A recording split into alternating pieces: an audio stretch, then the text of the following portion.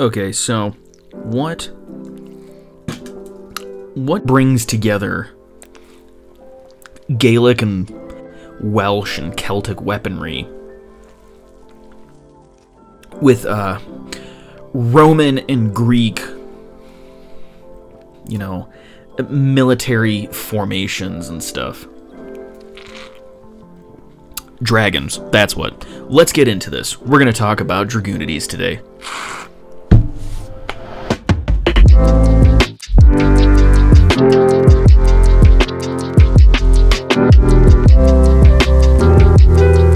Okay, so late 2010, in Duel Terminal 3 and Hidden Arsenal 3, we get introduced to the Dragunity archetype. These are a set of dragons and winged beasts that combine together through synchro summoning to get sort of these boss monsters from the extra deck. Dragunity is mainly a synchro climbing sort of, uh, that's, that's how you play it, it's through synchro climbing. Hidden Arsenal 3, released in the TCG on December 7th, 2010, finally let this archetype become legal and playable. Uh, because when stuff comes out in the duel terminal, you have to you had to wait for its uh, Hidden Arsenal counterpart to be released in the entirety of the TCG for any of those archetypes to be playable at um, at tournaments. With the level 6 synchros Dragunity Knight, Vajrayana, and Dragunity Knight Gae Dearg released in the TCG TCG set Starstrike Blast, um, the deck was at its beginning to becoming a successful and competitive archetype. It really didn't see any play in any form of tournaments, though, until the structure deck Dragunity Legion was released March 8th, 2011.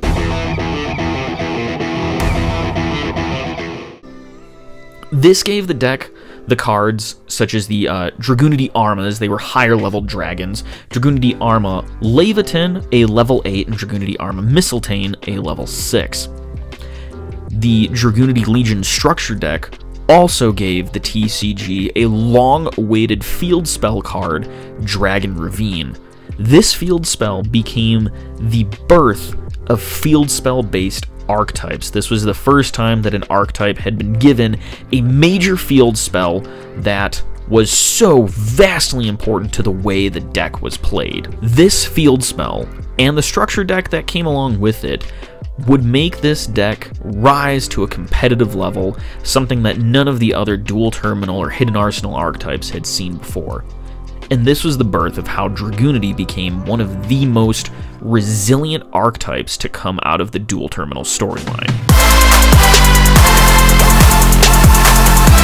Up until the point of the structure deck being released, the TCG community was divided between two ways to play the deck. There was a Cyberdark version, mainly using the low level tuners and the higher level dragons to be able to uh, bring Cyberdark up to a competitive level. The other variant was an OTK version, focusing on spamming out level 8 synchros and eventually coming out with Trident Dragion, a level 10 synchro that allowed for an easy OTK of 9,000 damage. We're going now to March 13th, 2011. History is being made. This is the first weekend that the TCG structure deck Dragunity Legion, as mentioned earlier, is legal for competitive play. And Justin Lovely at the Dallas, Texas Regionals of March 2011 manages to get top 8 with his OTK Dragunity build. This shocks everybody. And the answer is clear that the OTK version is the true competitive master, and the way, the proper way, to play Dragunity almost every weekend up until the end of the year, Dragunity is topping a regional, making it to day two, or topping YCS. Dragunity is taking the place by storm. Unfortunately, though, with the release of other archetypes such as Windups and Zectors, the Dino Rabbit strategy, Chaos Dragons with their own structure deck, and then eventually Firefist and Mermails, the Dragunity playstyle sort of fades away during the majority of 2012 and the very end of 2011. However, in May of 2013, Lord of the Tachyon Galaxy is released. introducing the world to the Dragon Rulers. With the release of one such Dragon Ruler, Tempest, Dragon Ruler of Storms, Dragunity is once again given an insane boost to consistency, thanks to Tempest getting banished off of cards such as Golden Sarcophagus or another Tempest, where finally the archetype is finally able to search its higher level Dragunity Arma cards, adding a level of consistency that the deck hadn't seen beforehand, due to Dragon Ravine only being able to search level 4 or lower Dragoon Dragunities, such as Dux or Legionnaire, the two winged beasts that were used primarily in every single one of the combos and plays that the deck could do. The first ban list after the Dragon Rulers come out, all of the baby rulers were banned. This led most people, knowing that Dragon Rulers were still very competitively viable, but they lacked a small little engine that made them as consistent as they were. People such as Patrick Hoban started looking towards a small Dragunity package in order to replace the baby rulers. Thanks to YCS Toronto 2013, most of the tops of Dragon Rulers in the top 8, or most of the Dragon Ruler players that made it to day 2, used the Dragunity package instead of the Plant Synchro package that most people went into the tournament thinking this would be the better option. Another person that was able to make it to day 2 with their build and eventually make it up to top 8 was an Umar Haq. An interesting thing that he does is play pure Dragunity with Tempest as an engine, like how most pure Dragunity players were doing at the time. What's impressive though is that he had continued onward with the concept of using Dragunity as an OTK deck instead of a hardcore control deck, like most of the Dragon Rulers would do, controlling the field with their massive boss monsters and disruptive plays. What makes it even better is that he also used Trident Dragion two years later, but was able to add on it with the rank 10 Ixies Gustav Max. Being able to take the entire tournament by storm with this quick and deadly OTK build that he had. This time, we cannot forget so many people were still topping their regionals and events with their Dragunity builds.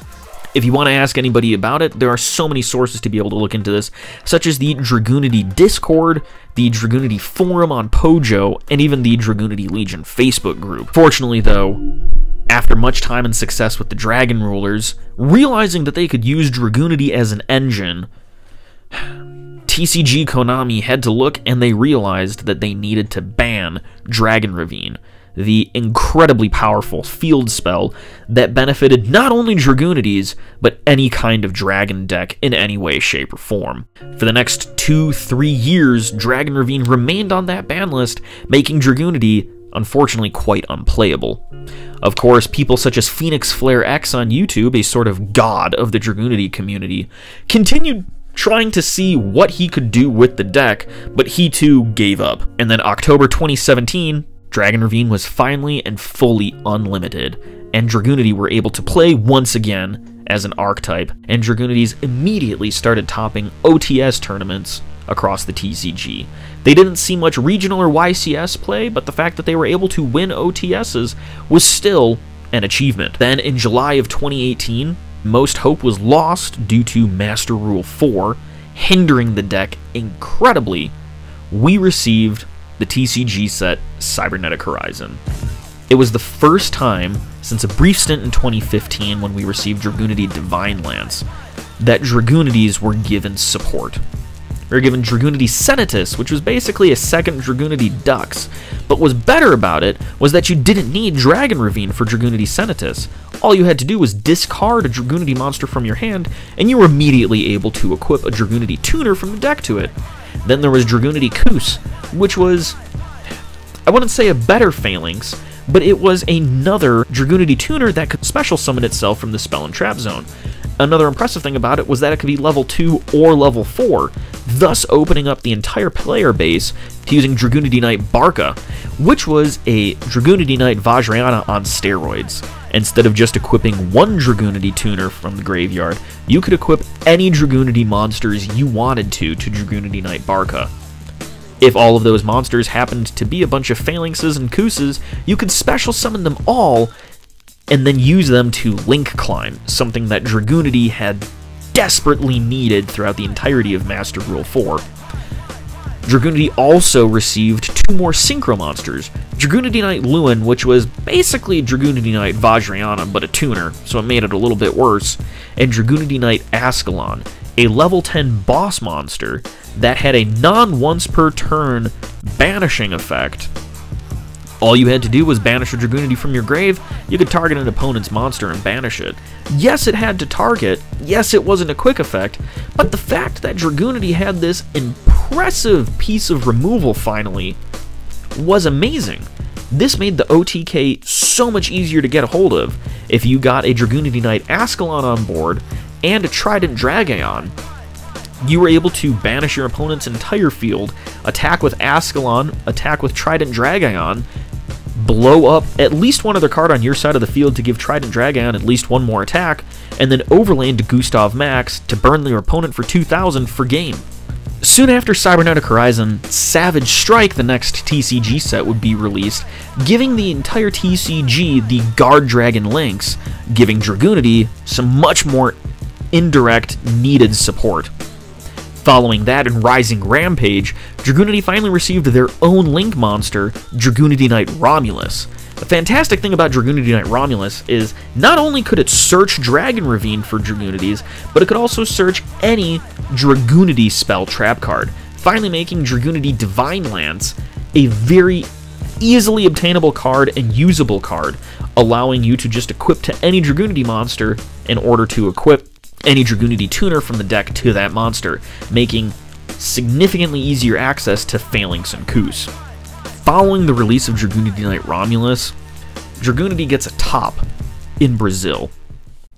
Rafael, a man from Santa Catarina, no Brazil, was able to win a massive tournament using his own version of Dragunity, What's impressive about this is not that he's using an OTK version, but because in 2019, he is using the Buster Lock. By this time, the Destruction Whelp Buster, you know, that, that little card that was on the ban list for a little bit that everybody hates, it was already out at that time. Now, Dragunity Arma when he is special summoned, you can just equip any dragon from the grave to it. So Rafael saw Buster Whelp Destruction Sword, saw that it was really easy to get into the grave with Dragon Ravine, Dragon Shrine, Foolish Burial, any of those cards, he would send Buster Whelp Destruction Sword to the grave, special summon Arma Leviathan with a couple other synchros that Dragunity would usually use, and then just sit on a Buster Lock with his Dragunity deck in 2019. Dragon Link wasn't using the Buster Lock until sometime late 2019, early 2020. This guy was doing this right after Romulus was released in Rising Rampage. I love it. I love it so much. Rafael, se você está vendo isso, tá um legal o que fiz. Beleza, beleza, homem. In mid 2020, Dragunity players and the TCG received notice from the OCG that there will be a revamped Dragunity structure deck in order to pay homage to Dragunity Legion, which had come out a decade earlier. Looking at the support cards, Dragunity players knew immediately that Dragunity was going to be able to be a massive competitor in the meta. These cards included Dragunity Remus, which was a Dragon Ravine Searcher, and a Dragunity tuner that could special summon itself from the grave. There was also Dragunity Legatus, a new level 4 winged beast that could special summon itself from hand. All that there needed to be on the field was Dragon Ravine or a Dragunity monster. There was Dragunity Knight Areadbhair, another level 10 synchro boss monster that was a quick effect monster negate, and if it was destroyed by an opponent's monster, you can Harpy's Feather Duster them. Absolutely beautiful. Dragunity Glow, was a spell card that could search level 5 or higher Dragunity monsters, something that the deck really, really needed since Tempest was now limited to 1.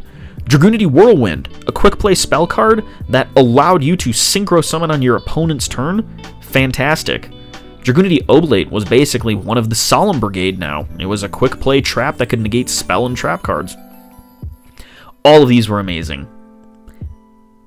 Then disaster struck, unfortunately, in the beginning of 2021, when the TCG revealed that these Dragunity cards were not going to be brought over in a structure deck like the OCG had received, but that these Dragunity cards would be printed in a side set Ghosts from the Past.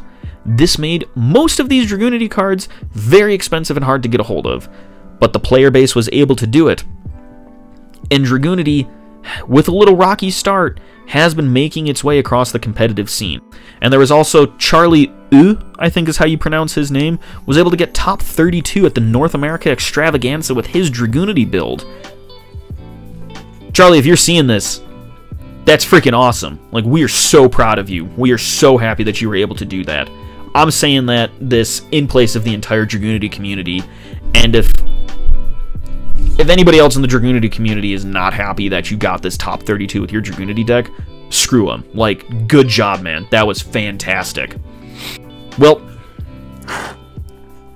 this is basically the, uh, this was the history of the Dragunity archetype. Um, I'm doing it a little different with my Let's Make This competitive series because Dragunity already is pretty competitive. At worst, it's a tier 2 deck. At best, it's a tier 1.5. The only reason it's not doing better is because so many other people are playing Dragon Link. Dragunity on its own has its two variations right now. You've got the Buster Lock that some people are playing. You also have the Amorphage package version of Dragunity that people are playing. It's a toss and it's a turn up. I, for one, prefer the Amorphage package just because of being able to go into Amorphage Lechery prevents your opponent from activating cards such as Super Polymerization, Dark Ruler No More, um, Triple Tactics Talent, Forbidden Droplets, stuff that people do main deck. Although I do understand that the Buster Well block is a little bit more consistent and much easier to get a hold of. Us Dragunity players here doing so well with our decks in order to remind people that even though this deck, like all the other duel terminal archetypes, are a decade old, we can still make this competitive. Hope you guys enjoy the video. Um, I'll be posting my uh, Dragunity deck on here soon, and maybe I'll be doing some combos. The thing is, I don't know if I'm really going to be doing a lot of combo videos with Dragunity, because that's Phoenix Phoenix Flare X's job, and I don't know if I really want to step on his toes, because like I said earlier, the man is the god of our community that we worship and pay homage to. Alright, I'm going to hope that this video gets up to 50 likes this time, because for my last video, when I asked to get up to 20 likes for the X-Saber combos after I had showed the deck profile, within a couple of days, it made it up to 40. So if you guys want to see my Dragunity deck profile, uh, smash that like button. Let's get this up to 50 likes. Alright, remember, enjoy your mate, and enjoy your Yu-Gi-Oh! I'll see you around.